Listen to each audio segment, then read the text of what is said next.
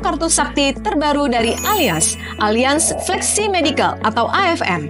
Produk ini keren banget karena banyak benefitnya. Satu, jika kamu sehat terus dan tidak pernah ada klaim sama sekali, kamu akan mendapatkan bonus flexi benefit sebagai rewards no claim bonus yang bisa dipakai untuk rawat jalan dimulai di tahun ketiga dan seterusnya.